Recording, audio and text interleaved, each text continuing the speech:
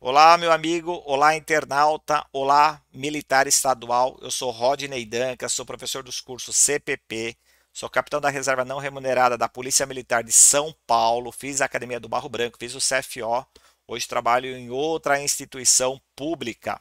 Nesse vídeo, como professor, eu vou estar esclarecendo algumas dúvidas quanto à Lei Orgânica Nacional das Polícias e Corpos de Bombeiros Militares essa lei orgânica que foi, aprovado na, foi aprovada na Câmara dos Deputados e se encontra no Senado Federal para apreciação dos legisladores.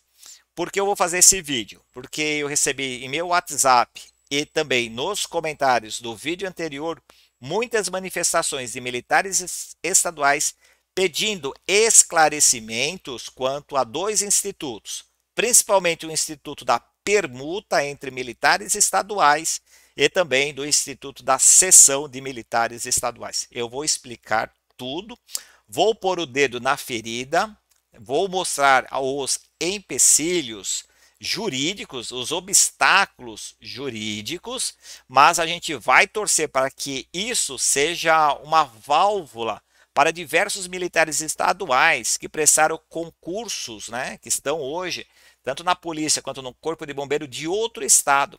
Quando você é mais jovem, quando você tem amor à profissão militar, quando você tem amor à profissão policial, à profissão de corpo de bombeiros, você sai do seu estado, você sai do Nordeste, vai fazer prova no Sul, você sai do Sul, vai fazer prova no Centro-Oeste. É normal entre é, é, essa migração de, de concurseiros. Eu vivenciei isso quando eu saí da Polícia Militar e prestei concurso para outro órgão público. Só que eu permaneci no meu estado. Depois de 5, 10 anos, a saudade bate porque você tem laços afetivos ao seu estado, laços afetivos, afetivos aos familiares que você deixou. Então, essa lei, o capitão, o deputado capitão Augusto, traz esses dois institutos. Mas esses institutos, eles precisam de normativo. Então, é disso que a gente vai falar. Se eu, se eu não pedir, vou pedir o like. E, tendo alguma outra sugestão, uma outra visualização, é importante que você coloque seus comentários aqui embaixo. Deixe a sua opinião, se você concorda, se você discorda, se você tem outra visão. É assim que a gente cria uma comunidade forte de militares estaduais aqui no canal do CPP. Tá bom, gente? Então, para que a gente tenha certeza do que a gente esteja falando aqui, eu estou colocando aqui do lado o projeto da, de lei que institui a Lei Orgânica Nacional das Polícias e do Corpo dos Bombeiros Militares dos estados, distritos do Distrito Federal e também dos territórios quando surgirem. Vamos ver se essa é a lei que foi encaminhada para para o Senado, eu vou descer até o final e a gente vai ver quem assinou. Quem assinou foi o deputado Arthur Lira, presidente da Câmara dos Deputados. Quando ele encaminhou para o Senado, dia 20 de dezembro, então eu estou com texto legal. Nos comentários, muitas pessoas falaram: ah, esse não é o texto original. Eu sei que existe uma confusão jurídica em diversos textos, porque essa lei, o projeto de, de uma nova lei orgânica nacional, ela transita lá na Câmara dos Deputados desde, do, desde o ano 2001. Então tem muitas alterações, mas esse que eu estou mostrando aqui é o último texto. E aí, é o texto que foi encaminhado. E aí a gente tem um instituto que a gente chama Instituto é, que a gente vai buscar aqui, que é o Instituto da, da Permuta e da Sessão. Eu só vou colocar diretamente no, no, no, no, no artigo, ó, já encontrei, é o artigo, se não me engano, 41 deixar aqui. Isso, artigo 41. Então, turma, esse instituto, nós, esse instituto da permuta, nós vamos encontrar lá no artigo 41, aqui, ó, no 41, tá? Então você pega o texto para ler com calma, mas eu vou fazer toda a interpretação com você. Diz o seguinte: Tá? Vamos prestar atenção. É, após solicitação dos interessados, quem são os interessados? São os policiais, os policiais e são os bombeiros militares, tá? Então, quem se manifesta? A solicitação dos bombeiros e dos policiais.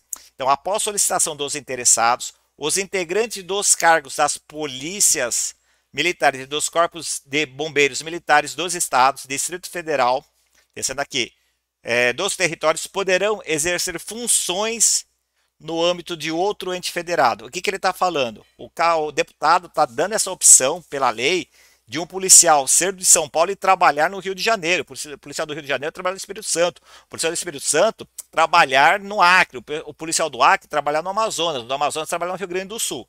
Eu sei que aí vai envolver a cultura institucional, a cultura organizacional, mas ele está dando essa opção. Essa opção. Mediante, e aqui eu quero destacar, aqui eu quero destacar, mediante permuta ou cessão Grava isso, mediante permuta, permuta ou cessão. Condicionada à autorização expressa dos respectivos comandantes gerais, seja da Polícia Militar, seja do Corpo de Bombeiro Militar, tá? Então, é, quem vai autorizar não é o governador, não é o secretário de Segurança Pública, secretário de Defesa Social, secretário da Defesa Civil, quer onde esteja a organização militar, seja policial, seja bombeiro. Quem autoriza é comandante geral, mas os interessados eles devem se manifestar. Você é policial, por exemplo, do Paraná, conhece o policial de Santa Catarina, eles, vocês desejam trocar de unidade, a lei nacional vai prever. É possível, comandante geral que autoriza, nem governador é, nem secretário. Isso é uma facilidade grande. Calma, calma. Eu vou mostrar os problemas disso, tá? Então, os comandantes gerais, ah, eles autorizam, é, é, observando a legislação aplicável. A primeira legislação, ponto. É essa nova lei orgânica. Só que você vai ter que observar as legislações dos respectivos estados, estados, se vai permitir isso, e também do Distrito Federal. Todo mundo vai querer ir para o Distrito Federal hoje, né? Hoje, por razões óbvias, né? Razões óbvias. Que é CJ, acho que você entendeu. É isso? Porque ela, ela se ganha mais. Aí o policial de lá, o bombeiro de lá, vai querer sair e trabalhar em São Paulo, trabalhar no Rio, trabalhar no Acre, talvez em Santa Catarina sim, talvez no Paraná. Eu não sei. Então, já começamos com, com um problema. A troca vai ser vantajosa para um, mas não para outro. Para uma pessoa e não para outra pessoa. Então aí eu já vou ter um empecilho, mas é de encontro. Mas vamos supor que a gente encontre é, dois policiais, dois bombeiros que queiram efetuar essa troca. Beleza, isso é chamado de permuta. Então, e quando se fizer a permuta, ou a sessão, preste atenção nessa redação, sem qualquer prejuízo, assegurados todas as prerrogativas dos policiais, direitos e vantagens de seu estado de origem Opa, e aqui eu quero discutir com você. Então, o deputado Capitão Augusto traz um projeto inovador, traz um projeto mais do que justo, mas eu tenho que ver, será que os policiais e os, e os bombeiros querem fazer essa troca? Vamos aos problemas dessa redação. A redação não poderia ser mais detalhada, porque ela ia ferir a autonomia legislativa do Estado, do Distrito Federal. Então, ela deu essa permissão. Você sabe que o, o, quando você ingressa por concurso público a um cargo de um ente federado, de um estado, Distrito Federal, você tem vários controles. Você tem o controle da corregedoria é, do estado, é, Contradoria do Estado, cada estado chama de um nome. Você tem o controle externo da atividade policial pelo MP. Você tem o controle das corregedorias. Você tem um controle externo exercido pelos tribunais de contas estaduais. Então você tem vários, é, várias, você vai estar sendo observado por vários órgãos quanto à permuta e quanto à sessão. Faz sentido o que eu estou falando até agora? Eu quero trazer uma informação clara. Evidentemente que eu não consigo fazer um vídeo de três minutos, né? Igual a gente está vendo aí na internet. Cara quer, sabe tudo. Em três minutos ele resolve tudo. Ele ganha like, mas de verdade não traz nada. Legal. Gosto do, do, do, do, do, do do deputado Capitão Augusto. Ele é da minha turma, nós nos formamos juntos na Academia do Barro Branco. Nós somos da turma de 94, tenho um grande apreço por ele, somos amigos. Ele acertou, mas a gente sabe que é, nesse caso, ao ajudar principalmente é, a praça que quer mudar de estado, voltar para o seu estado de origem ou começar uma nova vida em outro estado, ele traz um problema. Vamos lá. Quando ele fala de permuta, quando ele fala de permuta, Caramba, então eu vou escrever aqui, ó, gente, só para você entender, tá? Eu estou falando da per... Ops. Ei, a caneta agora falha. Estou falando da permuta, permuta. Então a permuta, vamos lá, é a troca que ocorre entre militares estaduais entre, entre os militares estaduais, então eu tenho, por exemplo, o policial 1 ou a policial 1, né, queira trocar é, a atividade que exerce no estado do alfa para o estado beta, então ele ou ela, eles fazem essa troca. Beleza. Até aí normal. Ah, eu tenho os interessados, o comandante geral autorizou, beleza, beleza. Só que a troca entre, entre os militares estaduais, eu tenho um problema. Primeiro, ela ocorre somente entre polícias? Beleza. Ela ocorre somente entre bombeiros? Beleza. Então, entre polícia, então polícia 1 e polícia 2, eu tenho a permuta. Bombeiro 1 para bombeiro 2, bombeiro do estado alfa, bombeiro do estado beta. Aqui, ó, tudo certo. É, é tudo aqui, ó. Ops, ficou um pouco fora da tela, não, né? Vocês estão, acho que estão conseguindo ver daqui. É, que às vezes, deixa eu só tentar corrigir aqui a tela.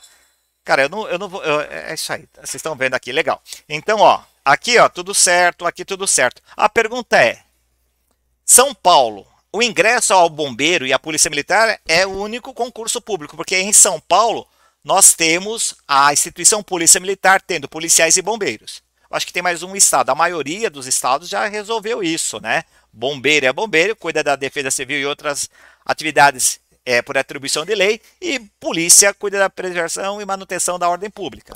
Resumindo, é isso, tá? É, não tem nem certo nem errado, tem constatação. A minha pergunta é: policial 1 do estado alfa quer trocar com bombeiro 2 do estado beta. Essa permuta é permitida? Essa permuta é permitida? Porque a, a, a, a, norma, né, que o capitão, o deputado capitão Augusto fala entre os interessados, né? Deixa eu voltar aqui, ó, entre os interessados. Interessados policiais, interessados bombeiros e entre eles. Primeira, primeira, primeiro impasse jurídico a ser resolvido pelos estados vai ser esse. Eu posso é, fazer a permuta entre policiais que se interessaram, entre os comandantes gerais de instituição polícia e instituição bombeiro? A lei não deixou claro. Então, cada estado vai ter que resolver isso. Agora, cada estado vai ter a sua lei em acordo com a outra lei, né? De quem está fazendo a permuta. O estado permite. Ah, o estado de São Paulo permite. Eu estou falando de São Paulo porque eu moro aqui em São Paulo. Mas o estado do Rio de Janeiro não permite. Então eu não consigo fazer essa permuta, porque a legislação não, não, a legislação do Rio de Janeiro não permitiu. Entenderam isso? Então, além de a gente pensar entre as instituições militares, polícia e bombeiro, eu tenho que pensar na legislação.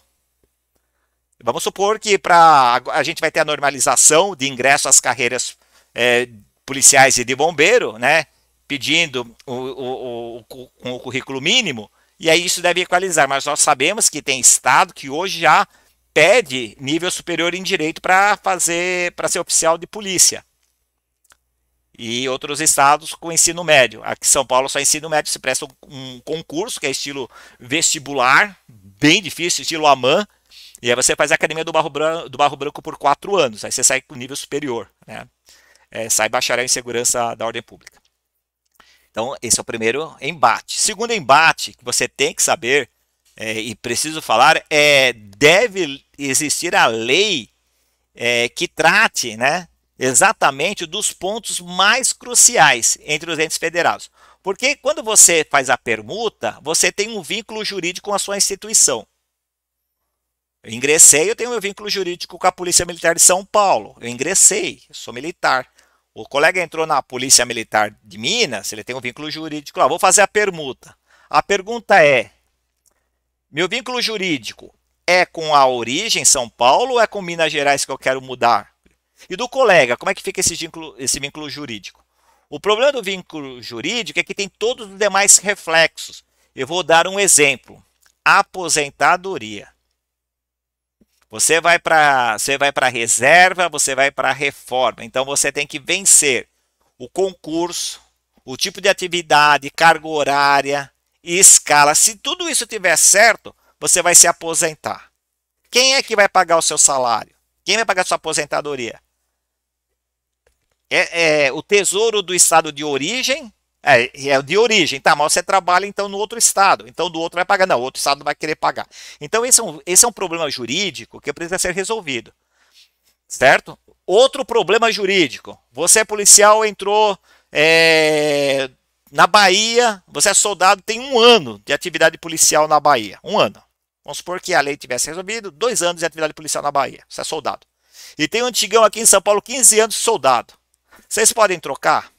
Pode, beleza. E como que fica a aposentadoria? Porque o policial que tem 15 anos de serviço, antigão, soldado antigão, vai para a Bahia com 15 anos. E se aposenta em 15. E você que veio para São Paulo, você ainda tem 28 anos. Quem é que paga essa diferença? Como que é feita essa compensação? Por que, que eu estou trazendo essas informações? Porque não é para jogar água fria em quem pensa em permutar mas é que existem várias leis que precisam ser tratadas. E aí que está, no seu estado, você já pode conversar com o seu representante na Assembleia. Passando a lei, os estados precisam conversar como que vai se dar essa permuta.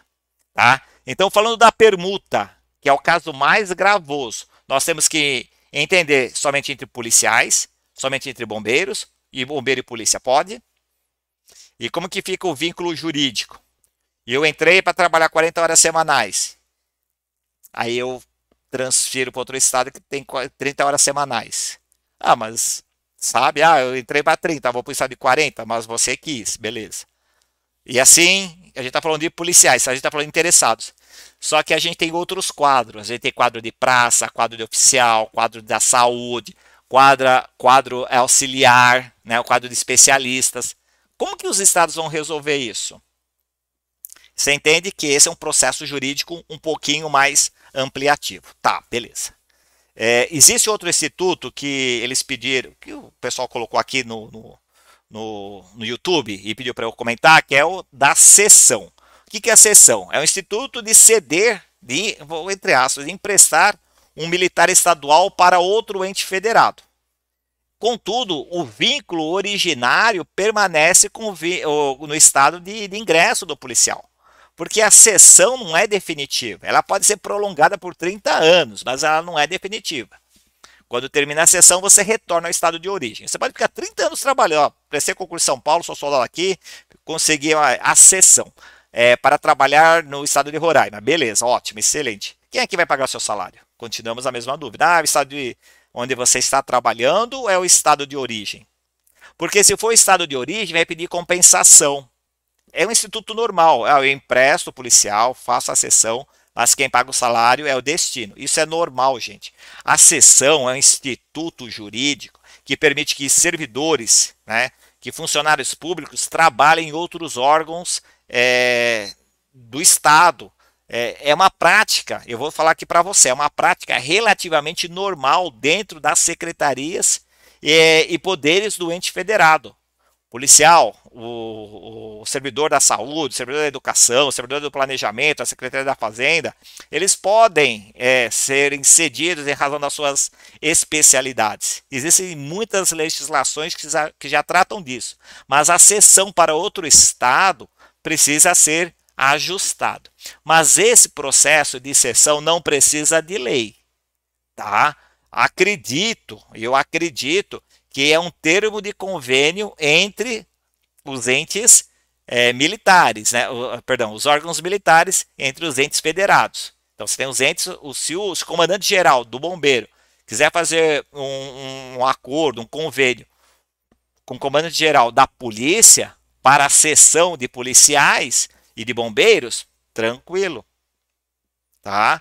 É, claro, né? geralmente é de bom termo que é, quem faça esse termo de convênio seja o secretário de Segurança Pública, o secretário de Defesa Social, o secretário de Defesa Civil, tá? Mas a autorização é do comandante geral. Então, é uma prática mais fácil, mas a gente tem alguns problemas a vencer. Mas o convênio resolve. Ó, eu empresto o policial, eu cedo o policial, eu cedo o bombeiro, quem paga é o destino. Só que no destino, não é o comandante geral que vai pagar o salário, é a secretaria da Fazenda. Então, essa sessão envolve o tesouro né, do outro ente federado. Isso se for ajustado em convênio. Porque se um policial, um bombeiro sai do estado A pro estado, do estado alfa para o estado beta, aqui eu estou cedendo e estou pagando para ele trabalhar em outro estado. Normalmente a sessão entre servidores, quem arca com salários é o órgão, é a instituição que está recebendo esse servidor. O servidor não pode ter prejuízo nenhum.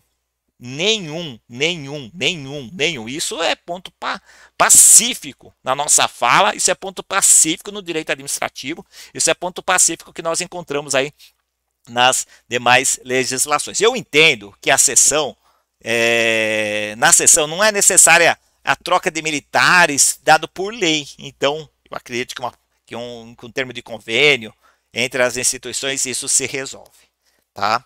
Eu, eu quis mostrar para vocês exatamente, né, já até é, é, mostrar aqui para vocês o que está sendo falado. Deixa eu só apagar aqui para não ficar feio, gente. O que está sendo falado, o que está sendo trazido aqui é no artigo 41 do, da nova lei orgânica é, encaminhada pelo presidente da Câmara dos Deputados ao presidente do Senado. Claro que tudo pode mudar, mas a ideia é que essa lei orgânica é, seja é, implementada no ordenamento jurídico das polícias e dos bombeiros militares. O artigo 41, que nós falamos aqui, pega caneta, ó, 41, ele fala então da solicitação dos interessados, são os militares estaduais, integrantes de cargos de polícia e de bombeiros, então são cargos, são, são os policiais, são os bombeiros, e eles vão poder fazer a permuta ou a sessão.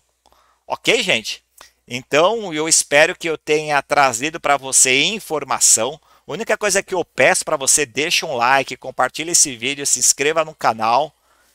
E assim a gente vai criando essa comunidade de policiais e bombeiros militares no Brasil inteiro. Então, nos comentários, põe o que você acha, põe o que você acha que eu errei, é, faça a sugestão para eu opinar aqui, para eu poder compartilhar com vocês. Comentem, o pessoal está interagindo bastante, tá? Então é isso, turma. Eu agradeço é, você ter me assistido, né, me ouvido até agora. Eu espero que eu tenha sido claro nesses dois institutos. Claro que eu não tenho a verdade absoluta, eu falo dentro da minha experiência, como oficial da reserva não remunerada, ter é, ficado por quase 18, 19 anos na polícia militar e entendido um pouco desse direito administrativo, né, do direito que envolve as nossas vidas. Então a ideia aqui é compartilhar o conhecimento. Eu sou Rodney Danca, sou professor dos cursos CPP, um curso especializado para os concursos de ingresso às carreiras da Polícia Militar e nos concursos internos.